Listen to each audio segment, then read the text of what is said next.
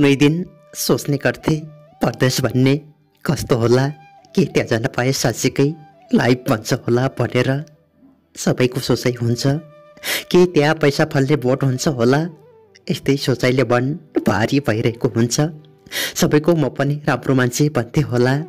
त्यहाँ गए त गाउँ परिवारको हाई हाई भनिन्थ्यो होला। गाउँले दाजुभाइ परदेशबाट आउँदाको छाँटकाट फु गरे पनि टल्ने जस्ता मान्छे हेर्दा पनि नचिनिने भएर आउँदा अनि सोच्छन् सबैले एकपटक मात्रै जान पाए। लिएर एक सुनौलो सपना बोकी यो आफ्नो जीवनको अनौठो यात्रा गर्न पनि बेर गर्दैन मानिसको जीवनले। मानिसको जीवनले पनि कहिले कोल्टो फेरिरहेको हुन्छ खै थाहा हुँदैन। गरिब जीवनलाई उकास्ने सुरमा अचानक परदेशी जीवन जिउँदा पो थाहा पाउँछन् संसारको लीला के हो भन्ने वास्तविकताको दुनियाँ यस्तो रहेछ भन्ने।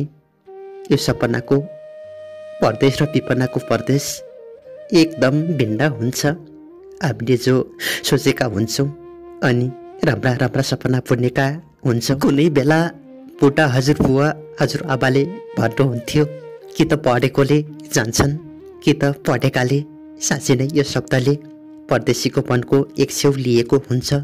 जब परदेशी भए अनि यस्तै यस्तै कुरा गम्भीर मनभरि खेलाउँदै जीवन जिउन बाध्य हुन्छन् यो मानिस भएर पनि अन्धकारको दुनियाँमा विपनाको परदेशको कुरा गर्नुपर्दा जुन दुनियाँलाई बेग्लै ठान्दछन् परदेशी संसारमा पाउ खान्छ पेटभरि छोरा हेर्छ पोकले बाउले खाएको ठुलो ठुलो अनि छोरो खाँदा बाउले हेर्नुपर्ने ठुलो ठुलो कति अजिब जस्तो हुन्छन्। परदेशको दुनियाँ कोही कसैको कुरो सुन्ने फुर्सद नै हुँदैन। सबै आफ्नो आफ्नो तोरमा छोरो मरेको पनि थाहा हुँदैन बाउ। बिमार भएको पनि थाहा हुँदैन। एक सूर्य जस्तो जीवन हुन्छ। परदेशीलाई त कता कता लाग्छ जस्तो सुकै दुःख कष्ट भए पनि आफ्नै गाउँठाउँमै ठिक जे भए पनि आफ्नै गाउँमा माया र ममता प्रशस्त त प्रशस्त जस्तो लाग्छ। गाउँघरकाले सोच्छन् होला ल फलानाको छोरो विदेश गएछ धनका बाहिर आउँछ भन्छन् होला तर भोको नाङ्गो कसले सम्झिन्छन् होला र पैसाको पछाडि लागेपछि के आफ्ना के पराई सबै तोड्दा रहेछन् भन्दा होलान्। आफू नमरी स्वर्ग देखिँदैन भन्छन्। ती घरमै बसेका बुवा आमाहरूलाई के थाहा? परदेशको हालत यहाँको परिपाटी हो उनी। हो उनीहरूको सोचाइ पनि म गलत सोच्दिनँ। ठिक हो तर। तर गाउँ परिवार आफ्नाको सम्झना त। किन हुँदैन र? सम्झना मनमै खुम्च्याएर राख्नुपर्छ। त्यहाँ माया ममता। त्यहाँ माया ममतालाई भुट्नु पर्दो रहेछ। यहाँ काम नगरी सुखै नहुँदो रहेछ। हो सुखै नहुँदो रहेछ। हो आज। स्वास्थ्यलाई ठिक छैन भोलि गरमला भन्न पाइँदैन।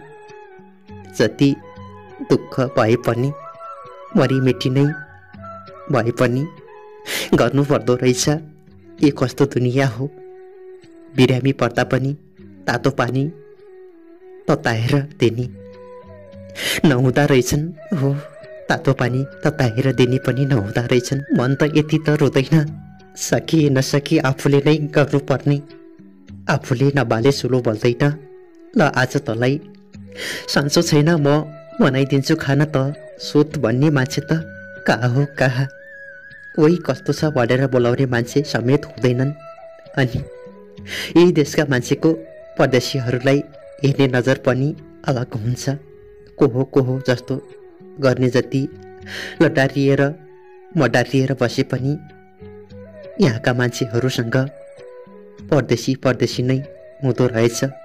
आखिर आखिर एक्लो दुई पैसा कमाई के गरौँला भन्ने सोच पनि परदेशको हावाले त्यत्तिकै उडाइदिँदो रहेछ।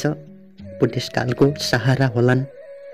छोराछोरी भन्दा बाउ आमासँगै सहारा माग्ने सहारा माग्ने अवस्थामा परदेशीहरूलाई देख्दछु।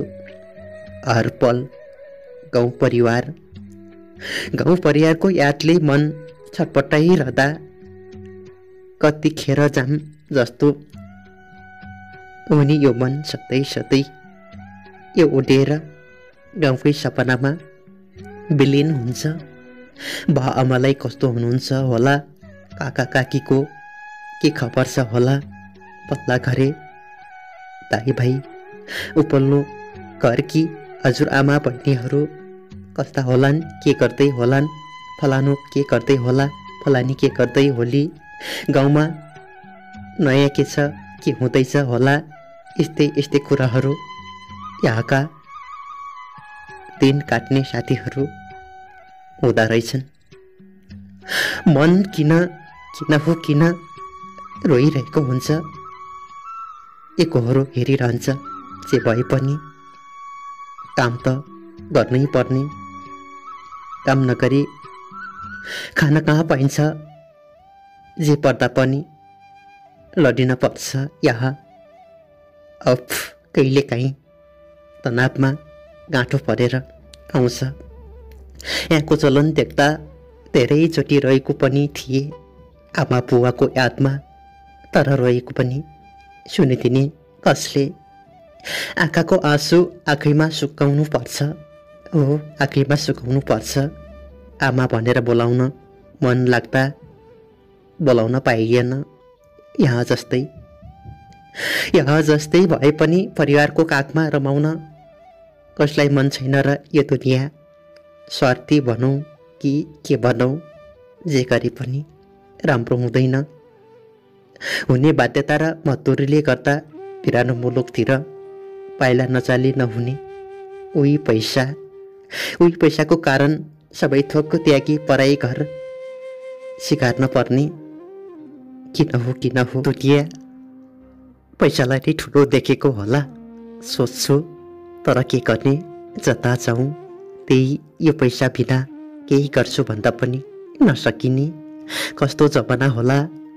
यो सोच्दा सोच्दै मान्छेलाई पागल बनाइदिन्छ। मलाई त यस्तो लाग्दैछ। जस्तो सुकै होस्। जति दुःख गर्न परे पनि आफ्नै गाउँलाई सिगार्न मन छ तर मन भएर के गर्ने? नललाई अगाडि नलगुन्जेलसम्म केही नहुने। अफ एक मन त भो म त जान्छु परदेश भन्ने यस्तै रहेछ भन्ने सोध्छु फेरि। एकछिनपछि मन बदलिन्छ। भो जानु हुँदैन। घर गएर पनि के गर्न सकिएन भने मेरो एक्लो जीवन त जहाँ गएर भए पनि पालुला तर घर परिवारलाई पनि हेर्न पर्यो नि।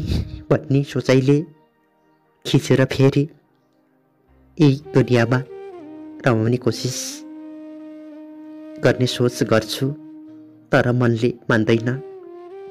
म त मेरो साथीभाइलाई यो भन्न चाहन्छु कि टिटो रोटी जस्तो भए पनि घरकै खाउँ दुःख जति परे पनि परिवारसँगै बाँड्दै जिउँ तर पर्दै जाने दुई पैसा कपाउने सोचाइलाई बदलाउँ मान्छेको जातलाई जति भए पनि थोरै नै हुन्छ त्यसैले सन्तोष धैर्यलाई कहिल्यै नतोडम भन्छु म त। बरु भगवान्सँग प्रार्थना गरौँ कि भगवान् अहिले जस्तो जिरहेको छु उस्तै सधैँ भइरहोस्। याभन्दा तल नि जान नपरोस् र याभन्दा पनि माथि नलगिदेऊ भन्दै यो लोभको कैटोमा जति पानी हाले पनि भरिँदैन बरु।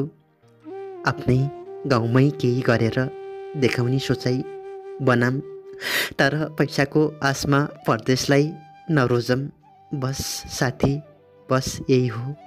आदरणीय दर्शक महानुभावहरू यतिन्जेल मैले वाचन गरेको थिएँ रोल्पाका मित्र रमेश आरसीको कथालाई वाचन गरेको थिएँ। उहाँको वास्तविक कथा रहेको थियो परदेशी कथा रहेको थियो। पक्कै पनि आगामी दिनमा पनि यस्तै यस्तै कथाको अपेक्षा राख्न चाहन्छु र आजको लागि कथा पढाइ सहयोग गर्ने रमेश आरसीलाई धेरै धेरै धन्यवादका शब्दहरू अर्पण गर्दै आजको बसाइबाट छुट्याएर जानै पर्छ। जानुभन्दा पहिले आजको बसाइ तपाईँलाई कस्तो लाग्यो? जस्तो लाग्यो त्यस्तै सल्लाह सुझाव प्रतिक्रिया भए तलको कमेन्ट बक्समा लेख्न नभुल्नुहोला। आजको बसाइबाट म पनि छुट्टिने अनुमति चाहन्छु। उही तपाईँकै दुःख सुखको साथी नन्द निर्मल थापा हवस् त। नमस्ते।